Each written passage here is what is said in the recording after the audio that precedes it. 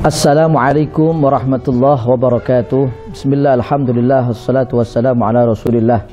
Sayyidina Muhammad ibn Abdullah Wa ala alihi sahbihi wa mawalah. La hawla wa la quwata illa billah.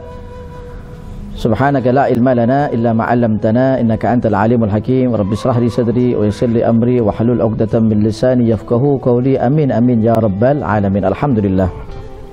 Ikhwani wa akhwati para pemirsa MJ TV di rumah yang dirahmati oleh Allah Subhanahu wa taala Alhamdulillah kita bersyukur kepada Allah Subhanahu wa taala masih diberi kesempatan hidup oleh Allah Subhanahu wa taala bisa mengamalkan bagaimana petua-petua Nabi Muhammad.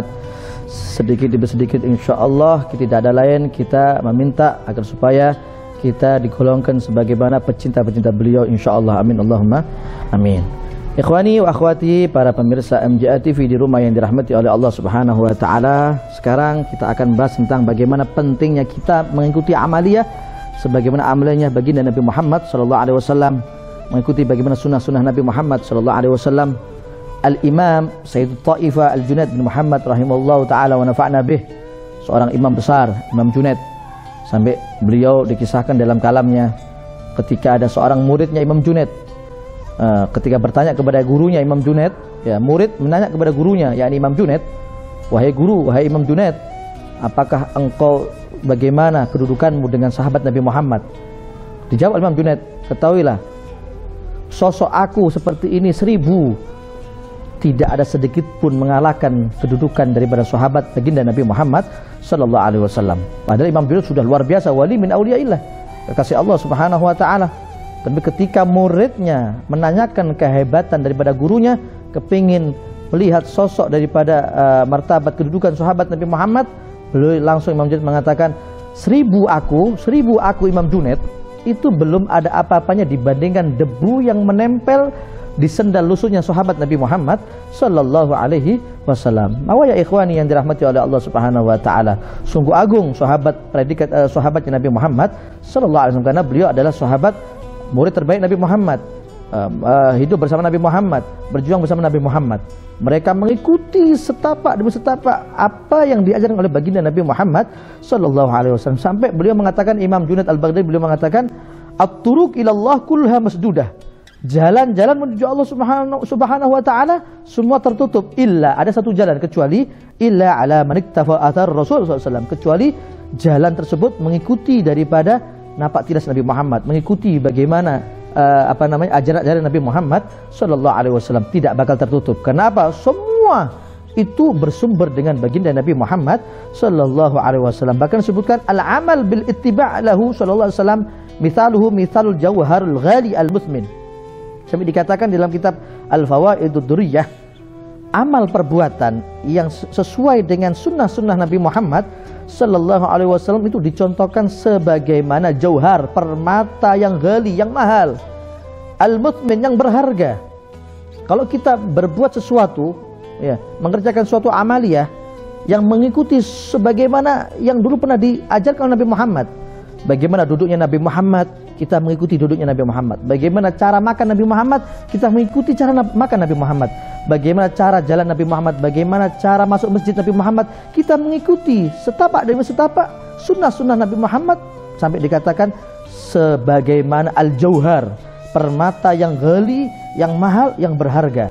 Dibanding orang yang mengerjakan suatu amalia, perbuatan tidak mengikuti baginda Nabi Muhammad sallallahu alaihi wasallam. Bahkan diceritakan dalam kitab Risalatul Mudzakarah bagaimana seorang dikisahkan eh, eh, telah datang sebuah hadis Nabi SAW eh, terkadang ya seorang hamba, seorang abad, seorang budak itu mengungguli daripada sayyidnya, tuannya.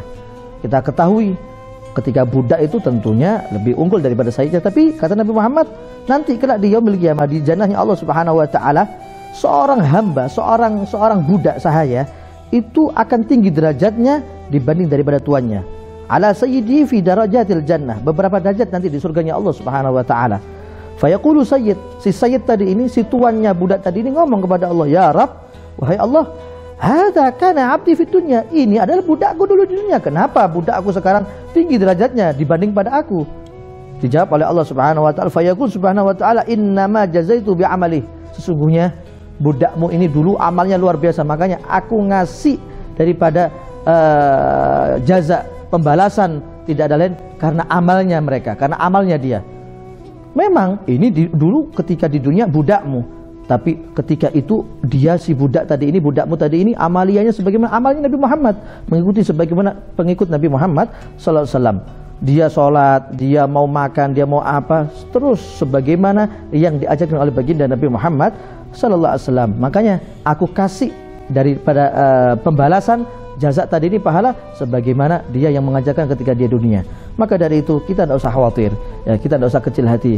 Meskipun mungkin kita orang-orang uh, orang desa, mungkin meskipun kita mungkin orang yang tidak punya, mungkin kita uh, bukan dari keturunan orang yang mulia, tapi selagi kita mengikuti yang telah diajarkan oleh baginda Nabi Muhammad, amalia yang sudah diajarkan oleh baginda Nabi Muhammad setapak dan demi setapak insyaallah kita akan dimuliakan oleh Allah Subhanahu wa taala.